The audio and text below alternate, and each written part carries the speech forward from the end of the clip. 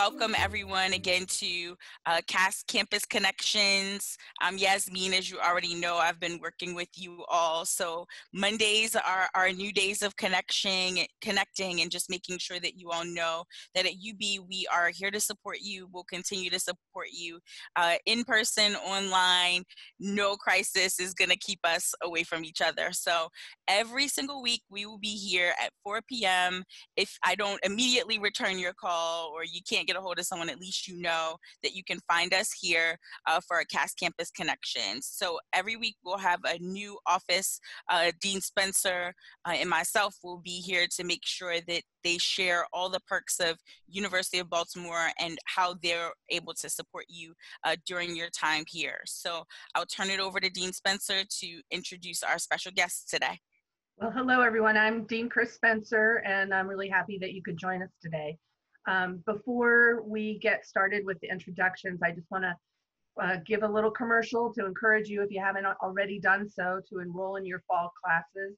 They are filling up, and we want to make sure you get the the um, the courses that you need. And we're uh, just so thrilled that you're here. And if there's any financial issues that are holding that up, we have the right uh, seminar for you today. So let me introduce um, Terry Richards, who is our uh, Executive Director of the Office of Financial Aid.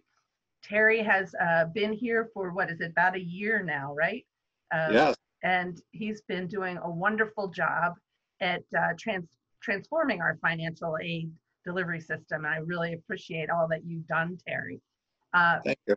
And um, next, I want to introduce Tom Healy, who is our um, senior financial aid counselor. And Tom and I haven't actually met yet. So this is a really nice opportunity to meet you and appreciate your being here with our students today. So um, I'll turn it over to you, Terry. Do you want to get started and, and tell us how your office is useful to students during their time at UB?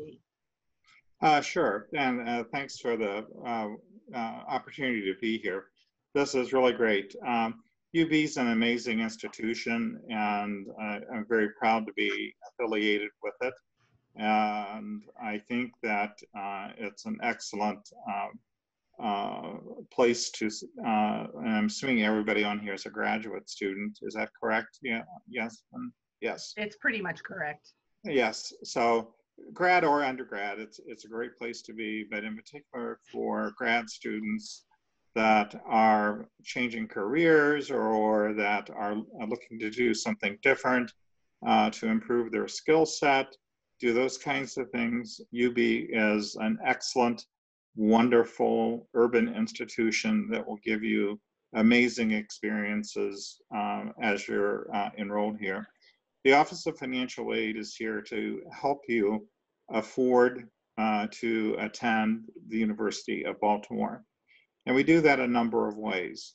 One is that we um, uh, work, uh, help you walk through completing the um, FAFSA, the free application for federal student aid, which is the um, baseline application uh, that you have to complete for just about any type of financial aid, um, uh, unless you're an international student.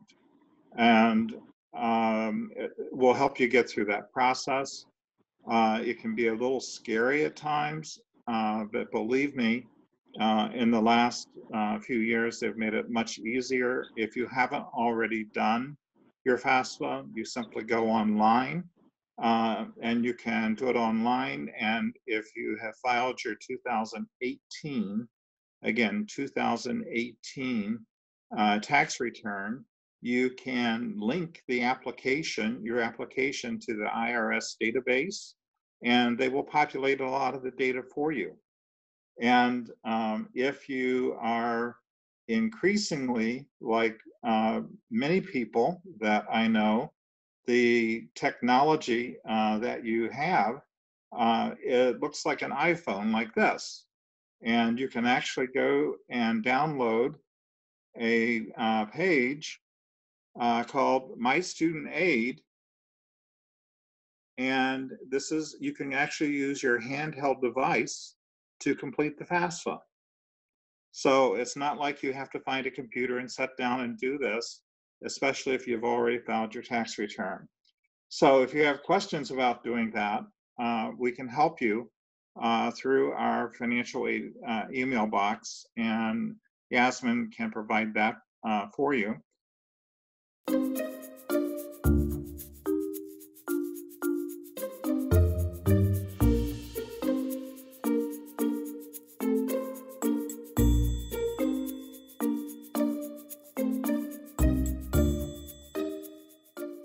For graduate students, um, it's mostly about loans. And here's where you're going to have to listen uh, to the fact that I'm old and I have gray hair uh, and not much of it left. Um, borrow judiciously. Do not borrow more than you need. You need to pay your tuition and fees. And if you're coming back to school, grad school full time, uh, you'll need to uh, borrow money to help pay with uh, pay for living expenses, perhaps, and for books and supplies. But you don't need to borrow money, especially if you are online and um, still living with your parents in some cases. Uh, don't borrow money for a car payment, uh, things like that. And um, again, be very careful about what you spend because at the graduate level, unlike the undergraduate level, uh, 100% of the money that you borrow, the interest begins to accrue on the day that it is dispersed.